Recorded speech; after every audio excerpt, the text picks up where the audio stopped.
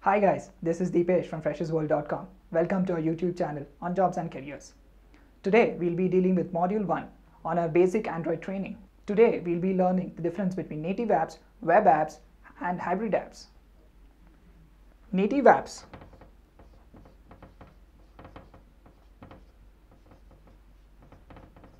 As you are seeing here, I have an iPhone, I have a Samsung phone.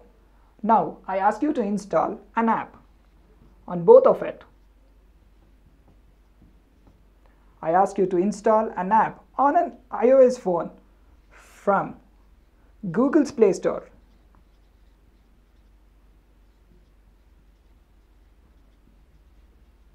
I ask you to install an app from Apple Store.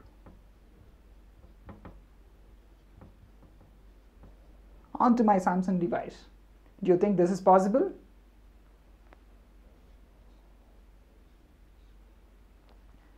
On an iOS device, I'll be able to install my app from Apple Store.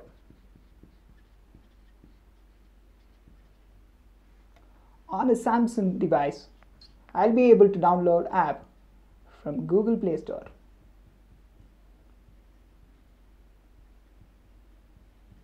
So now I'll be able to install an app on my Samsung device from my Google Play Store. So I'll take off the tick mark and this should be right. I'll be able to install my app onto the iOS device from Apple Store. So this should be right.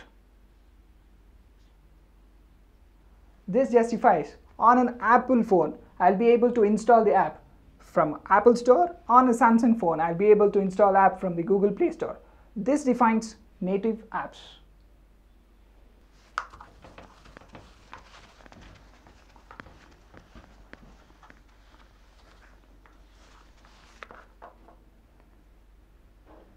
Let's start with web apps.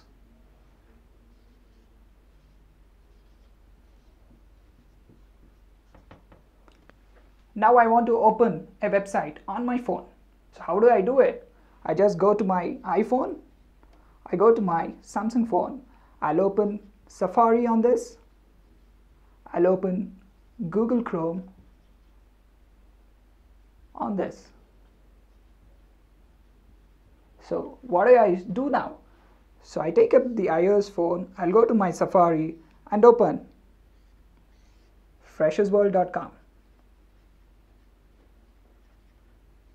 world.com and I go to my Samsung phone on my Google Chrome and open freshersworld.com.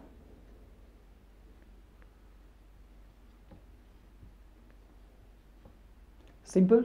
On my browser, I'm opening freshersworld.com using Safari. On my Google phone, I'm opening freshersworld.com using Google Chrome. So this defines web apps. Web apps is nothing but your browsers on your respective devices.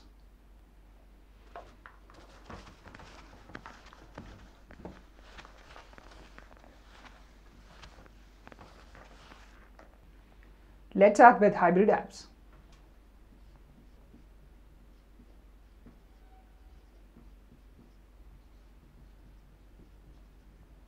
Now, I don't want to use my Chrome or my Safari to open apps. I just want one app to be installed both on my iOS as well as Samsung device. So how do I do it? I just want an app to be installed on my iOS device as well as Samsung device. Yes, we can do that. We can do that using PhoneGap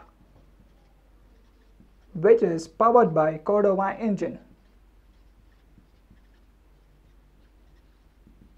Now using this PhoneGap and Cordova engine, I'll be able to write an app which can be installed both on iOS as well as on Samsung.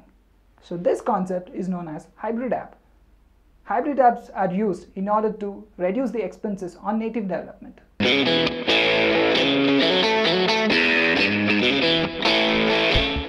Hi guys, this is Deepesh from freshersworld.com. Welcome to our YouTube channel on jobs and careers. Today we'll be dealing with module 2 on our Android training. So let's start with Android architecture.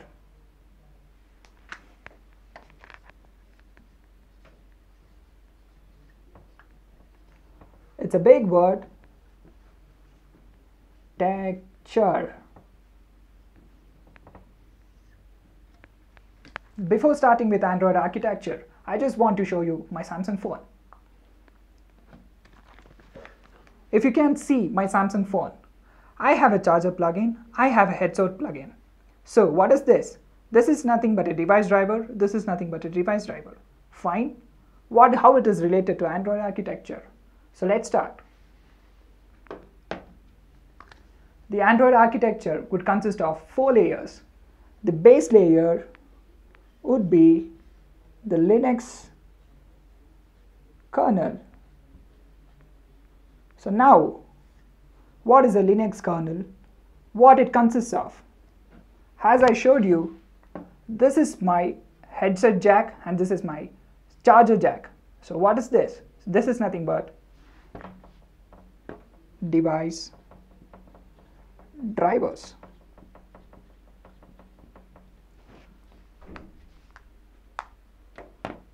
So coming to the topmost layer, as you can see in my phone, I have apps installed on my phone. So you're able to see it. This would be the topmost layer. The apps can be Facebook, Tinder, or even WhatsApp.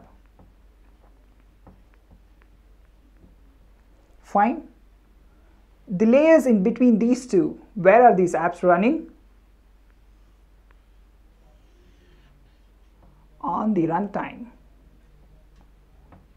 In other terms, I'll call this to be Android runtime. This would be consisting of two features or two components that is DVM and libraries. Let's not go deep into this. So let's see what is the next layer. This layer would be your Java frameworks. So why is this Java frameworks used? You want to run your app onto the Android runtime. You need to have some components helping you. So these components are nothing but Java frameworks. So now Android coding is mainly on Java. Please subscribe to our YouTube channel for more Android videos. Thank you.